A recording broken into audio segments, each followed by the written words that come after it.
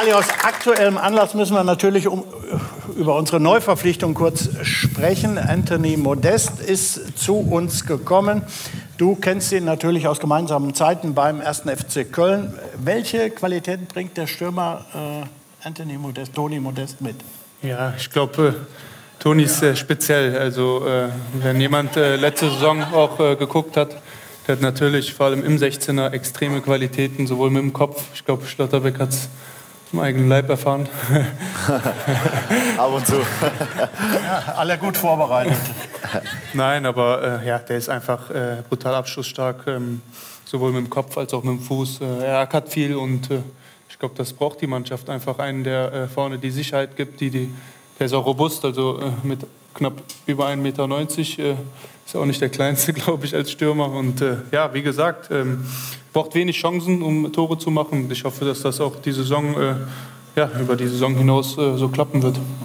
Jetzt das das Sportliche. Was ist das sonst für ein Typ? Können wir uns auf irgendwas freuen? Ja, auf äh, vieles, auf vieles. Äh, ich glaube, äh, ich glaube, Toni ist äh, ja sehr lebensfreudiger Mensch. Ich glaube, jeder kann mit ihm gut umgehen. Er ist ehrlich, wenn er was nicht mag, sagt er das auch direkt. Aber ja, wie gesagt, man kann mit Toni über alles reden, man kann viel mit ihm lachen. Ich glaube, äh, das zählt, ja. Schlotti. Du hast dreimal gegen Anthony Modest gespielt. Jedes Mal hat Toni getroffen. Nie hast du gewonnen. Aber jetzt kommt die Frage, die wieder. Also, also, wie sehr freust du dich, dass du nicht mehr gegen ihn ist tatsächlich ein Stürmer, gegen den man sehr ungern in der Bundesliga spielt, weil er einfach viele Qualität mitbringt. Ob das in der Luft ist, ähm, beim Bälle festmachen oder auch im Strafraum, weil er dir immer irgendwie äh, hinter dir steht und du immer aufpassen musst, dass er dir jetzt keinen einnickt. Deswegen bin ich ganz froh, dass er mittlerweile jetzt bei uns spielt ähm, und ich glaube, er wird dann auch viele Tore für uns schießen. Und ich werde mit ihm jubeln.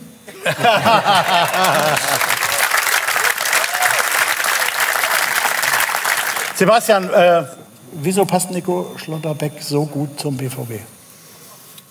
Oh, da gibt es natürlich viele Argumente. Also ich finde, dass jetzt die, die Idee mit, mit Süle und mit Nico und mit Mats, also haben natürlich drei Top-In-Verteidiger, je nachdem wie das System dann aussieht, ähm, alles deutsche Nationalspieler. Ich glaube, dass das ein echtes Statement ist für den BVB.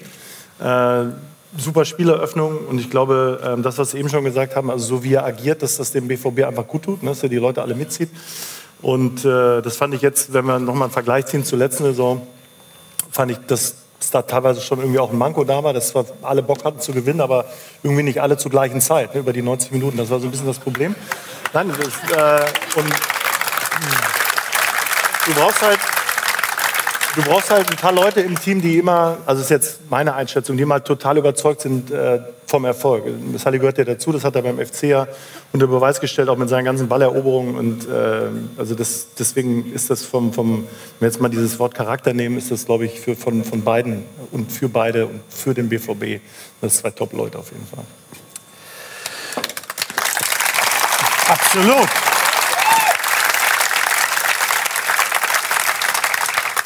Wir haben auf Social Media äh, aufgefordert, euch zu fragen und deshalb von jedem von euch eine Frage. Sally von Itz Kivko fragt auf Twitter, lieber Bart abrasieren oder die Haare wie Nico färben? Also ich äh, glaube, mein Bart würde ich nicht abrasieren. Ich glaube, das ist schon mein Markenzeichen. äh, ich würde eher so die Haare färben wie der Nico. Also so schlimm sieht das jetzt auch nicht aus.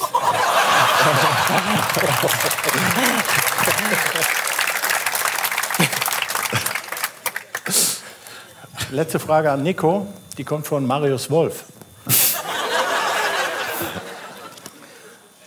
Er fragt auf Instagram. Manchmal rede ich auch nur.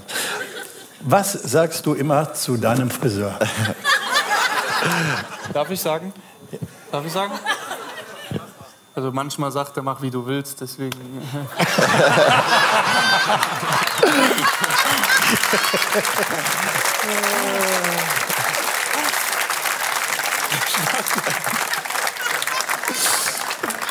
ja, wir haben da.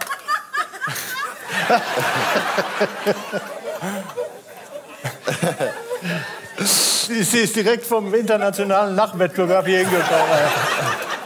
Bist Zweite geworden, ne? Ja, wir haben da so einen kleinen Gag in der Mannschaft. Ähm, weil Niki Süle seine Frisur sehr, sehr gut findet. Ähm, Sali auch, ja. Sie ist auch, okay. Ähm, nee, ich bin tatsächlich beim gleichen Friseur wie Marius, deswegen. Ähm, er macht bei uns beiden was falsch, sagen wir mal so.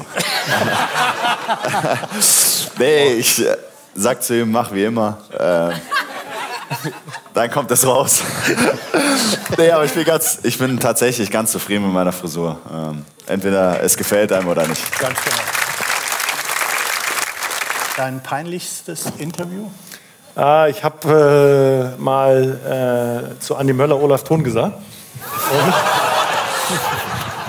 Die sehen sich aber auch zum Ja, ja, Verwechseln total. ähnlich.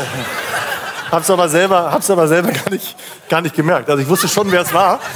Mir ist einfach der falsche Name. Ich hatte den falschen Namen im Kopf. Und der guckte mich an und sagte, wie Olaf Thon. Und ich gucke ihn an, ich sage, wie Olaf Thon. Äh, Aber, das, aber Sebastian, sowas passiert nun mal. ja, äh, ich, der guckte mich an, ich gucke ihn, ich wusste gar nicht, was er von mir wollte. Und dann... Äh, und hinterher kam natürlich äh, die ganzen SMS, grüß dich Andi, hier ist der Olaf, hallo Olaf, ist der Andi. Das war ein bisschen blöd. Trinkdorfs Ballgeflüster Nummer 39 mit fantastischen Gästen. Ich bedanke mich bei Sebastian Hellmann. Vielen Dank.